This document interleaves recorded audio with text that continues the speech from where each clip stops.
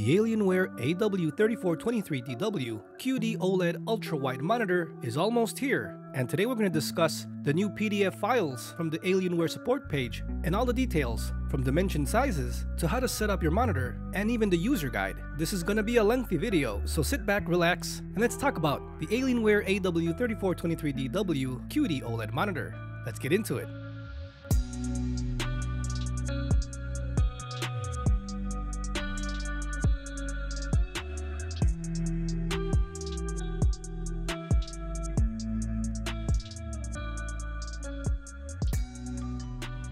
Alienware 34-inch AW3423DW QD OLED monitor is fast approaching. Now we have some information showcasing the price and some more features. This is to be the monitor to get for ultra-wide gaming and we're to look at some new information that this PDF file does allow us to see. Again friends, you can see how the overall design of this monitor looks amazing and we can see here with all the input connections from the power connector to the spotlight port, the joystick, the USB connections, two HDMI 2.0 ports, and a display port. And remember friends, if I miss anything from seeing all these files, please leave a comment down below to make sure it's brought to everyone's attention, but I'll try to cover everything seen here. But here we'll be checking out the technical specifications, of course with its amazing 3-year advanced exchange service and premium panel exchange, including coverage for OLED burn-in. According to Alienware, if you do have burn-in, they will replace your monitor the next business day. So that's really cool and safeguarding us, because I'm sure many of us will be playing this at 16 by 9. It does cover 99.3% of the DCI-P3 color coverage, also to 149% of the sRGB.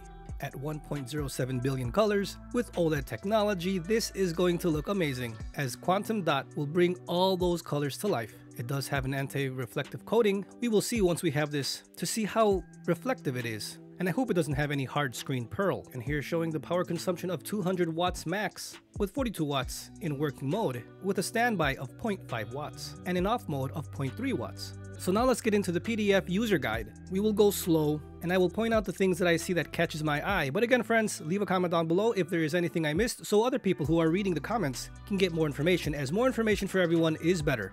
And before we begin, if you are finding this video helpful, please leave a like as it helps the channel tremendously. I do have many ideas planned for this AW3423DW in the future when it arrives. Many versus videos, so I would appreciate it if you hit that like to help support the channel. And subscribe if you do want to see more of this Alienware QD OLED monitor. As finally monitors are getting next generation technology, the first in new technology. That's awesome for us PC gamers. Thanks guys.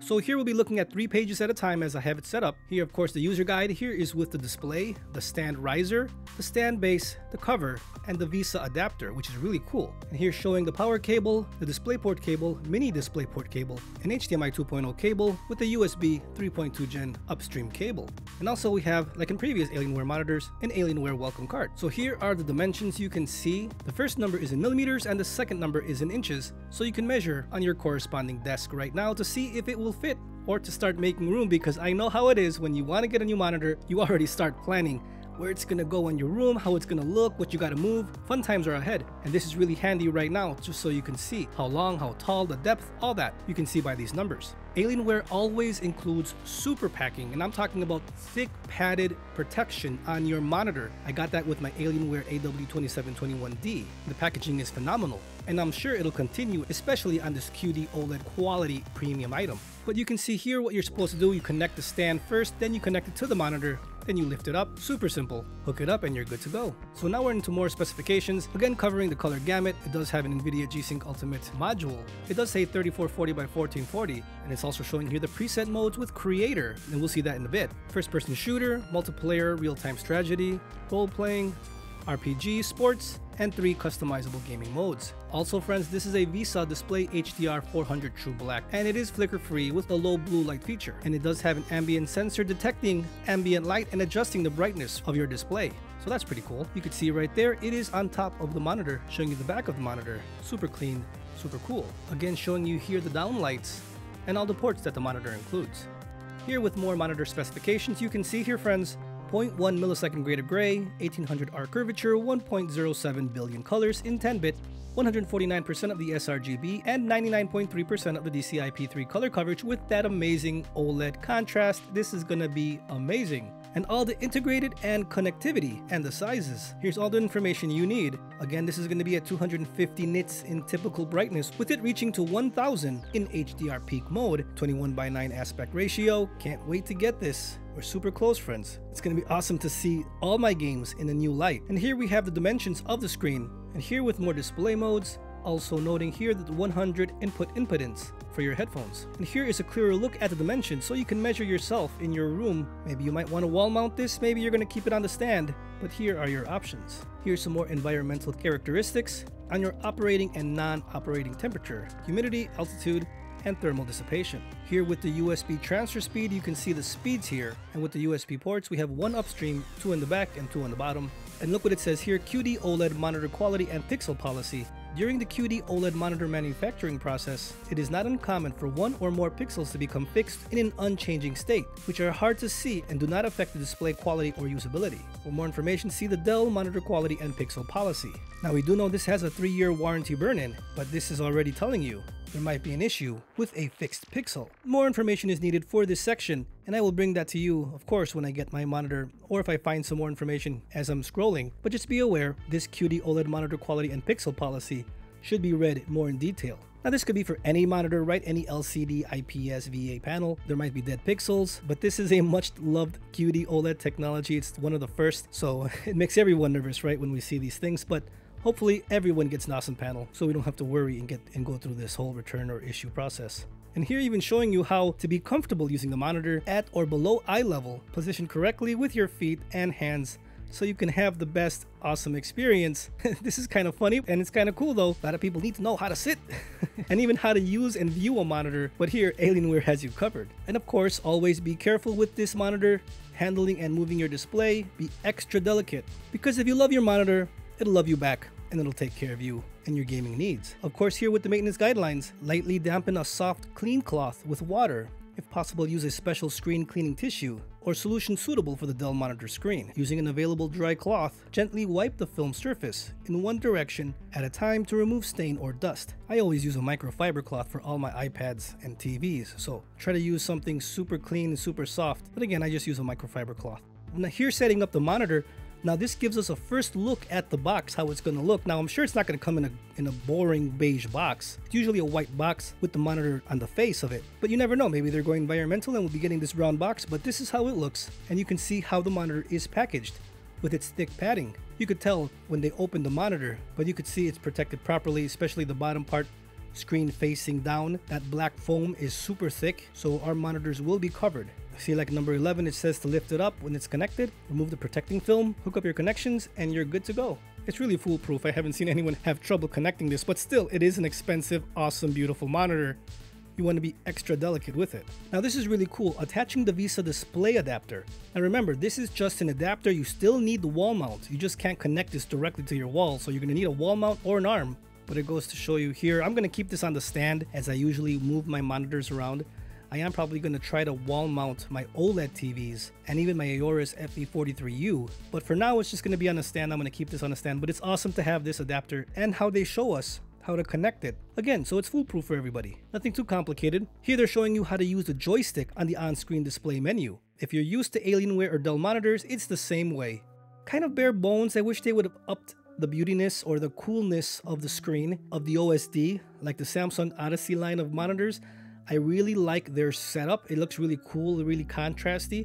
Even the LGs, that kind of gamer look, like the GP950, that's really cool. But whatever, doesn't matter, we're going to be looking at the display, not actually at the OSD. But you can see here preset modes, dark stabilizer. Remember that is not no black equalizer, but it doesn't matter because this is QD OLED we're talking about. And the blacks will be black and the contrast will be out of this world.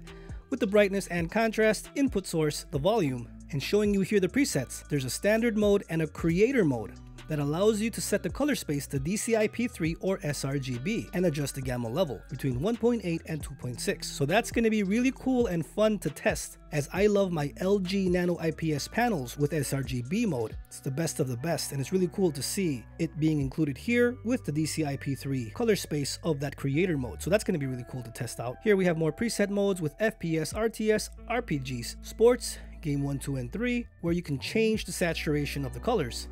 And the dark stabilizer, and of course the color with warm, cool, and custom color. And here's a cool feature game enhance mode where you can have a timer, a frame rate display, and display alignment. Here friends with the dark stabilizer which is not a black equalizer. This stabilizer improves the visibility of dark gaming scenarios with a higher level of 0 to 3 to get better visibility in dark areas of the image. The LGs have this, and it's here on the Alienware. That's why the GP950s don't have the same contrast as an Odyssey with the black equalizer. They're two different things. HDR mode here with HDR 400 True Black or HDR Peak 1000. So there's two modes.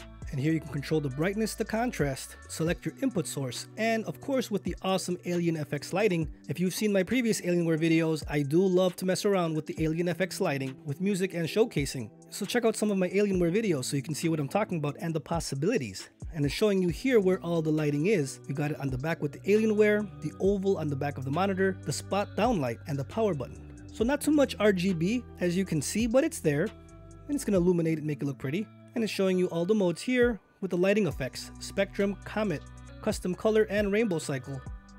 The cool thing is you can turn off the power button zone. Here showing you the audio and sub menus, like just like all monitors have. You can set your language, the transparency of the OSD, Everything here is included, and of course the info tab with the firmware, the service tag, ambient light sensor, which I always keep off, and eco mode, of course, always keeping it off. That ambient light sensor might come in handy for many people, so check it out and see if you like it. Now this is really cool, it does have OLED panel maintenance. You can see here pixel refresh to reduce temporary image retention on the screen, you can manually activate this function after using the monitor for a couple of hours. Alternately, the function will be activated automatically when you have used the monitor for 4 to 20 hours, the process takes about 7 minutes to complete. So this is going to try to prevent stuck pixels and also with the panel refresh to prevent permanent image retention caused by static content. When you have used the monitor for 1500 hours, you can manually activate this function to refresh the pixels. Alternatively, the function will be activated automatically when you have accumulated 1500 hours. The process takes about an hour to complete.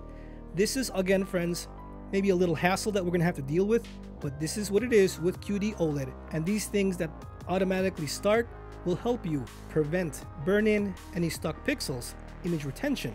These features that automatically kick in is a welcome addition to protect our monitors. As me, I will probably, because it's a new technology, I'll probably use this monitor only for gaming, not so much for editing or anything like that, just purely for gaming with a full screen of the 34 ultra wide. But hours go by fast when you're enjoying your content, so 1500 hours will go by super fast when you don't want to get your eyes off the screen. So it's a welcome addition and it's showing you here how it would work. So I'm going to leave this here for a bit so you can see what it does and what you're going to be looking at. But again, friends, when you get these monitors, you'll be able to test out for yourself and you'll be able to see it. And we will go through that. I'll probably do that, not even for the 1500 hours, I'll do that earlier just to show you guys the differences, to see what to expect. Here showing you the tilt, swivel, and vertical extension of the monitor, and of course using the Alien FX application that you're gonna download to your desktop or laptop to actually access the controls.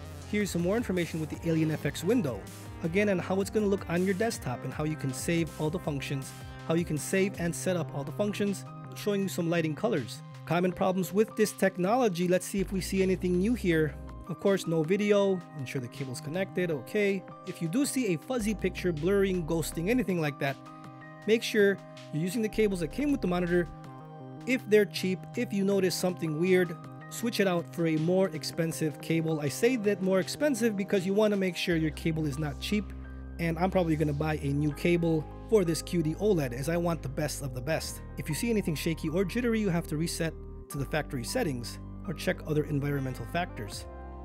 Here with missing pixels, OLED screen has spots, cycle power on off. Possible solutions again friends, cycle the power, pixel that is permanently off is a natural defect that can occur in OLED technology. I hope none of us see that, first of all, right? I don't want to see that myself. Stuck pixels, again, we have that built-in software tools for the monitor to help with stuck pixels. Brightness problems, here you go, reset the monitor. Any kind of geometric distortions, reset the monitor any lines or syncing problems, again, reset the monitor, make sure your cables are correct, or change them out if you need to. But that's about it friends, everything is awesome on this monitor and I wanted to show you this so you know what to expect when you get this awesome panel. I myself can't wait to get this monitor, it's going to be coming out very soon and it's going to be fun to versus this against all my monitors here on the channel especially the new LG C2 OLED 42-inch TV and the Neo Odyssey G8. The cool thing is I'm gonna try to get all these technologies here as that's what I do here. I wanna show all the technologies, not so much of the same technology, VA, IPS, TN, Mini LED, OLED, QD OLED, to help you make an awesome buying decision for work and play. Remember friends, this is gonna be an amazing year, so please hit that like button if you did find this video helpful and consider being a YouTube member as it will help me be able to do more of these kinds of videos and get more technology here for the channel to help you. Live streaming will begin very soon in a fun and awesome way, so be on the lookout for that and be on the lookout for some awesome amazing videos on the Alienware